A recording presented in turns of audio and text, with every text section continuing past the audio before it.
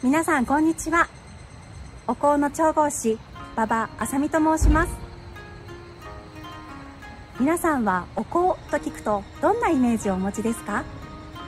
難しそう。ちょっと敷居が高いんじゃないか。いろんなイメージがあると思います。私ももともとお香とは無縁の生活を送っていました。それが高野山へ来てから天然のお香に出会い本物の香りで心身が清められどんどんと感覚が研ぎ澄まされていくのを感じました。そんな本物のお香の良さをぜひ皆さんに知っていただきたく体験していただきたいそんな風に思いお香講座を始めております。この天風お香講座では一般的なお香はもちろん高野山ならではのモチーフや光原料を用いて特別なお香を作ることもできます。ぜひ楽しみにしていてください。